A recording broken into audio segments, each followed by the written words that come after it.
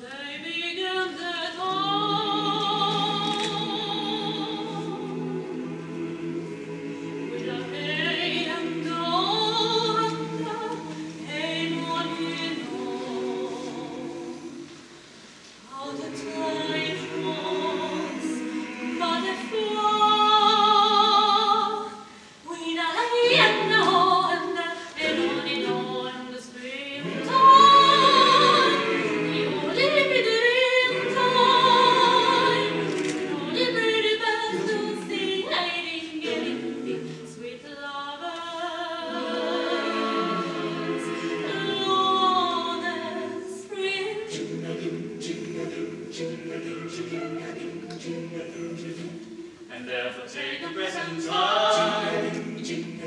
With the hay and the hoe and the honey